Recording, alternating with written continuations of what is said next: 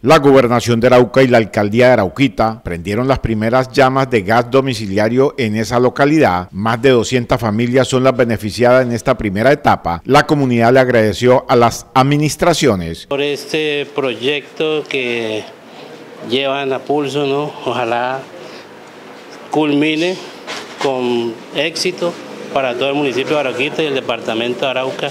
Y de verdad orgulloso porque fue la vivienda una vivienda humilde. Eh, la escogida, bueno, la escogió primeramente Dios, yo creo, después ustedes. Y adelante, para la gobernadora del departamento de Arauca, Indira Luz Barrio, manifestó que con la puesta en marcha de las primeras familias con gas domiciliario se está cumpliendo con el plan de desarrollo. Así es, eh, realmente hemos venido cumpliendo una agenda de trabajo en el municipio cacaotero del departamento, el municipio de Arauquita. Hoy nos encontramos precisamente cumpliendo uno de esos sueños de los arauquiteños, que es tener su gas domiciliario, porque solamente con una paz integral es que logramos esa paz también total de la que habla el gobierno nacional. Esa es una forma de dignificar también la vida de los arauquiteños.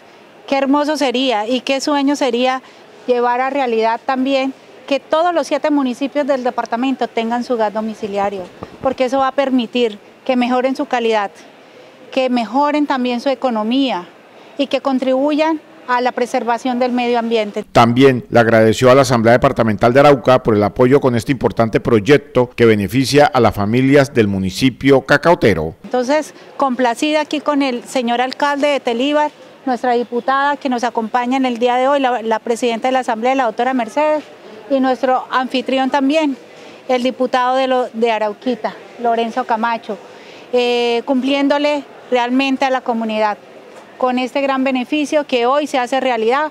Hoy estamos aquí encendiendo la llama de ese gran sueño llamado gas domiciliario para los arauquiteños. Para la primera mandataria de los araucanos, el trabajo en equipo es lo más importante y así se ven los grandes resultados. Eh, trabajamos en equipo, realmente trabajo en equipo arroja resultados eficaces y eso es una muestra de ellos.